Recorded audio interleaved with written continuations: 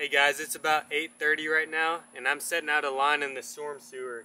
So I'm using shad today. This is gizzard shad, catch it in a cast net. And got a little offset hook here. Just gonna hook it through, just like that. And then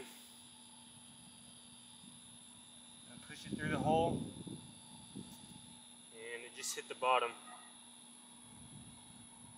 And with this weight, I'm just gonna set it up outside, right on the edge, and I'll look through the window out there, and if it is moved over like that, I know I have a fish on, so hopefully I get a bite tonight. I'll be looking.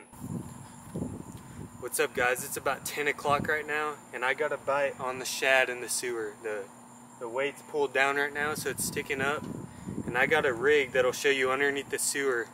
It'll show you the water and the fish coming up, so see, I, haven't checked it yet. We'll see how big it is.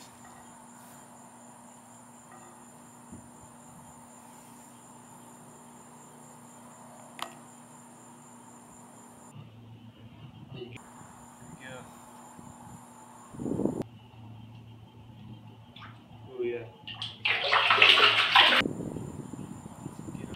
Get him up here.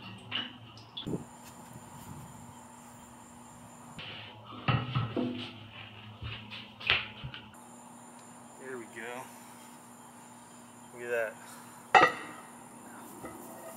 Look at that mud cat.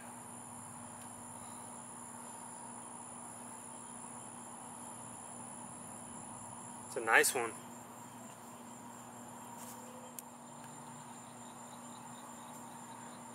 Got the hook out.